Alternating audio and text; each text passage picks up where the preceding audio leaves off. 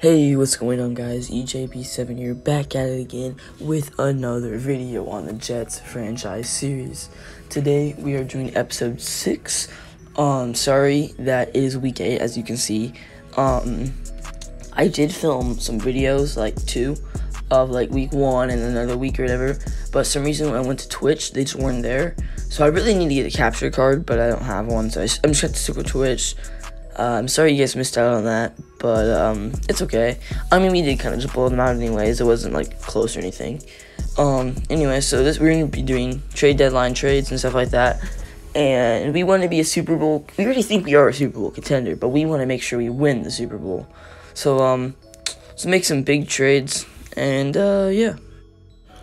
Oh, and uh, just to let you know before we start the video, um, so a lot of times when I make Madden videos get copyrighted because music or whatever, and this one was gonna get copyrighted too.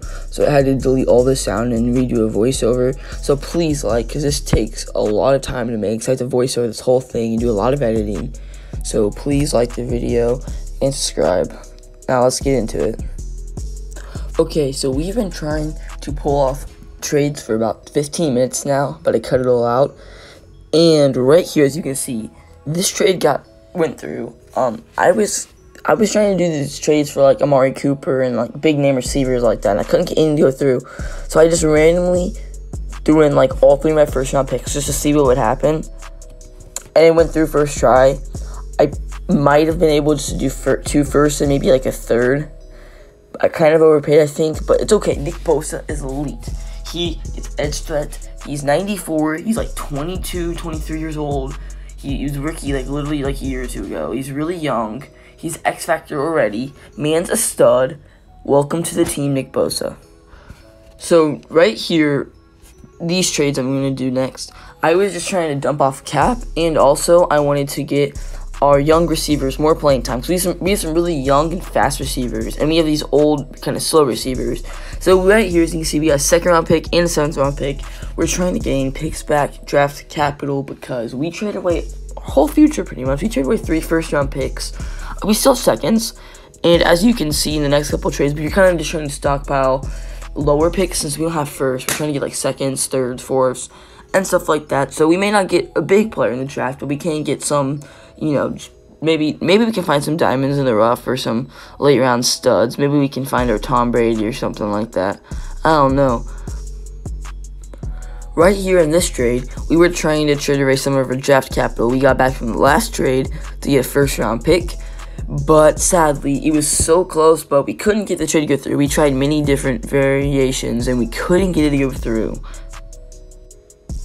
Eventually, we did work out a trade with the Colts right here. Parris Campbell and a fourth round pick. I think this is a really good trade. Jamison Crowder's older, not very fast. Parris Campbell's like 95 speed, and he's like 23. He's or 24. I don't know. He's really young, really fast. He's gonna be a stud receiver. He's gonna be on our team for the rest of the future and he's going to help us out a ton with the passing game. It's going to be nice. We're going to be able to do short little dump off plays to him. We can run really fast and sprint out. We can send him deep. We can do all sorts of stuff. And we got back and forth. So, solid trade right there. Now, after trading both those receivers away, we are trying to fix our rotation where we can get a young guys playing and a fast guy. So we have Brandon Aiyuk, who's going to be a stud. He's pretty quick. He's not the fastest, though. But we have Parris Campbell. He's really fast. Perriman, as you saw last year, is really fast. And we also have Greenwood, the rookie, who's really fast.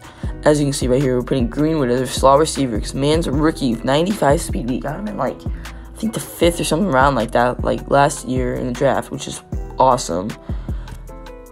Next, after trading down to get like we traded away our higher overall receivers, but we got fast young ones. We needed a good line to protect I mean, Sam Darnold, because, you know, he's young.